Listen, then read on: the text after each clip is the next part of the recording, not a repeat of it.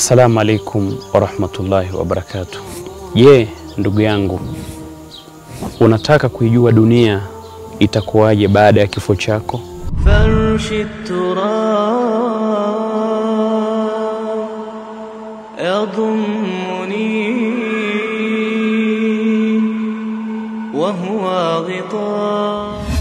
Basi nakwambia itazame dunia imekuwaje baada ya kifo cha rafiki yako, utayapata mazingatio.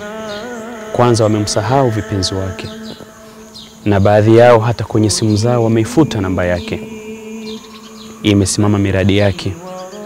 Basi na wewe jua, iko siku utatoweka katika ulimwengu, iko siku hutoonekana tena katika ulimwengu, na iko siku watakusahau wale wanaokupenda leo, iko siku watakusahau.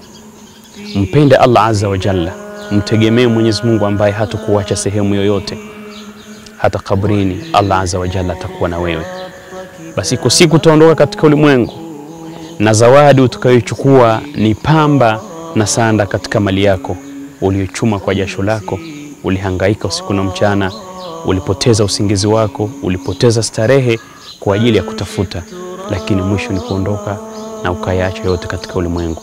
Ulimwengu siku sikuadai, ndugu yangu Muislamu, fanya kazi kwa ajili ya akhera. Kumbuka kuimarisha makazi yako, jenga nyumba yako, kwa sababu hakuna nyumba tukakwenda kuishi zaidi ya nyumba uliojenga katika uhai wako. Basi usihurike na ulimwengu, fanya kazi na insha Allah kwa Mwenyezi Mungu utayakuta malipo yako.